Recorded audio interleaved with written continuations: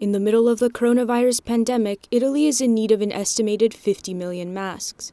That's because the country doesn't make this product and it can't get it from foreign companies due to the border closures. This difficult moment has sparked creativity and a sense of solidarity in many people. One example is the Talarico family.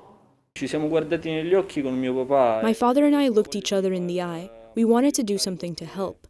Quarantine is hard. We're dynamic people. We wanted to move, to do something for our country.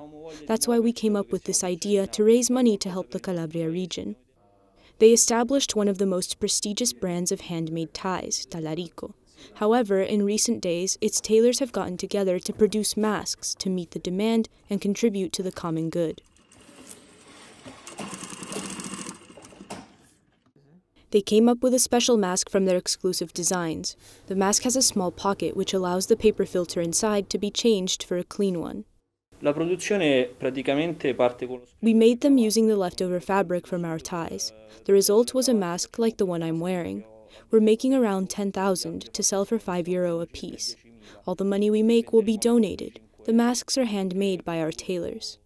Over 30 tailors are working on the initiative Talarico per il Sociale e per la Calabria. With the money earned, they will purchase healthcare material needed to face the pandemic in Italy's southern region of Calabria. Io sono stato fiero degli italiani in questo I'm proud of Italians in this moment. I rediscovered the solidarity of the Italian people, which I thought we had lost. Seeing people sing on their balconies and saying, We can't see each other, but we are near, is very moving. The initiative is yet another indication that difficult moments have the power to bring people together. In this case, it's an entire nation united under a single hope. Tutto andrà bene. Everything will be okay.